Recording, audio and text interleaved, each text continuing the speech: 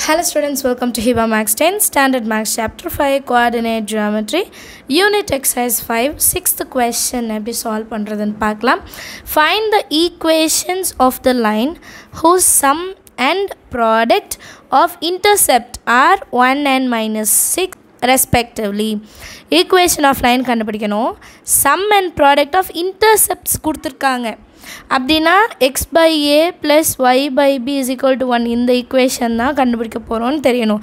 ஏன்னா நிறைய பேர் கேட்குறீங்க எந்த ஈக்குவேஷனில் சப்ஸ்டியூட் பண்ணணும்னு எங்களுக்கு தெரிய மாட்டிருக்குன்னு.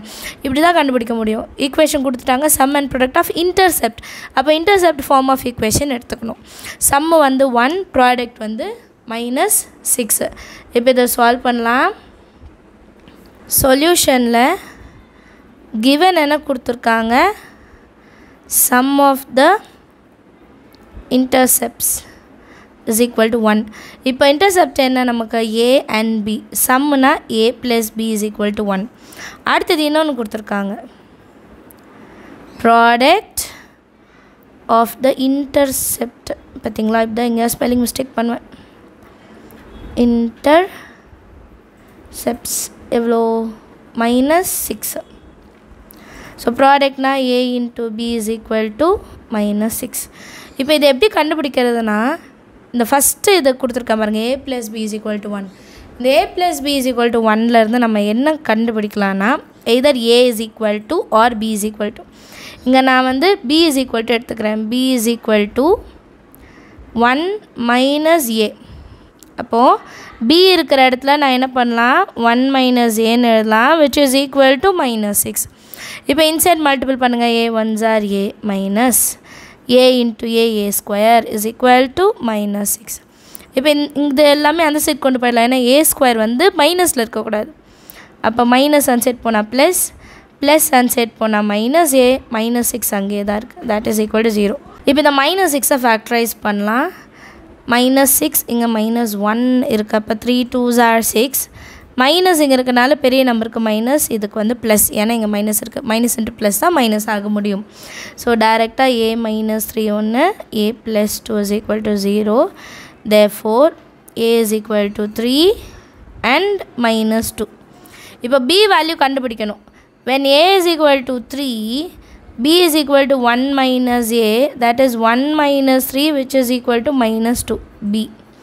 A 3 இருக்கும்போது b minus 2 அடுத்தது. ஏ மைனஸ் டூவாக இருந்தால் என்ன? B is equal to one minus a a இருக்கிற இடத்துல minus two that is equal to one minus into minus plus two which is equal to three b is equal to three இப்போ ஏ த்ரீனா b minus two a minus டூனா B வந்து three இப்போ இதை வச்சு நம்ம intercept ஃபார்மில் சப்ஸ்டியூட் பண்ணலாம். First intercept form என்னன்னு எழுதிடலாம். Form of equation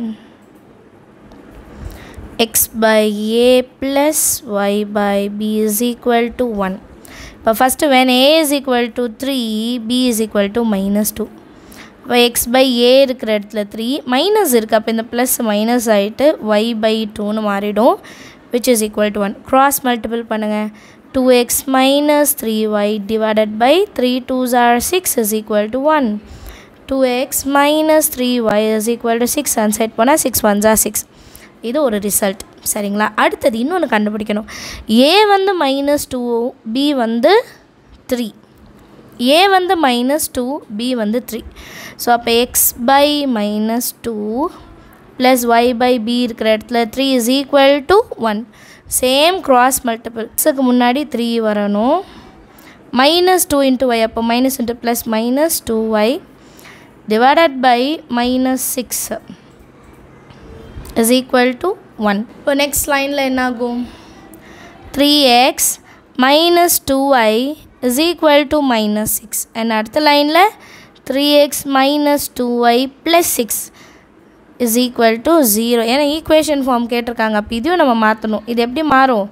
Two x minus three y minus six is equal to zero understand of the sum எல்லாருக்கும் thank you so much for வாட்சிங்